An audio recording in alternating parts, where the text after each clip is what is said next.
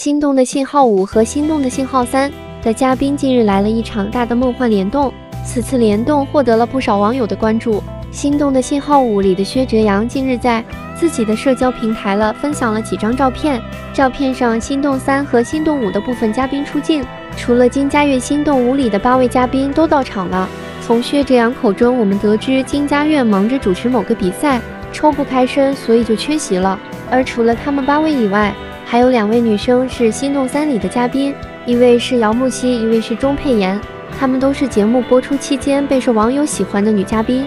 总的来看，这主要是《心动的信号》五嘉宾的线下聚会，姚木希和钟佩妍能够出席，说明他们之间有共同的朋友。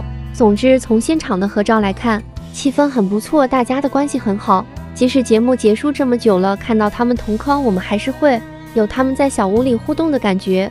其实网上对于他们私底下的关系众说纷纭，但是这丝毫不会影响他们的关系，该怎么相处就怎么相处。他们之间的关系远比我们想象的还要好。在这次联动中，有两对情侣的出镜让我们眼前一亮，分别是玉媛 CP 张根源和李念双玉，六万 CP 李婉倩和郭浩然。这两对可是实打实的真情侣，并不是徒有其名的合约 CP。从心动五结束到现在将近一年的时间。他们的感情依旧稳定，六万 CP 如今的甜蜜完全超乎我们的想象。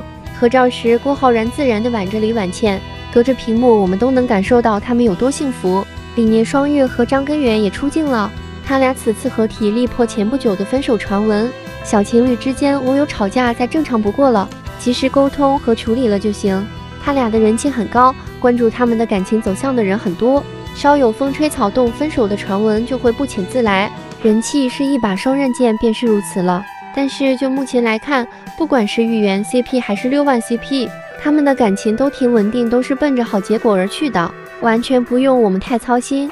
除了他们以外，剩下几位嘉宾的关系令人遐想。之前节目播出时备受观众喜欢的雪球 CP 薛哲阳和王秋怡也在，但是他俩目前只是朋友。如果有人还想继续磕薛哲阳和王秋怡，显然只能无功而返，他们早就没有这方面的可能了。反倒是薛哲阳和心动三的钟佩妍，我们可以磕一磕。